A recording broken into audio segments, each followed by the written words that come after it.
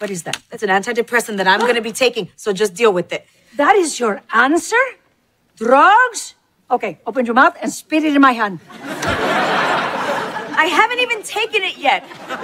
And it's okay, Mom, it's something that helps. But do you even see everything that's happening now? You don't need drugs. You need your husband. Stop it. Stop. Victor is not the answer. I know you didn't want him to go back to Afghanistan, but he's making money. He's being a good provider. There are jobs here where they don't shoot at you. We live in America. Name one. It's not just the job, and you know that. It's not like he cheated on you. Is that the only thing that matters? We are Cuban. We don't get divorced. We die.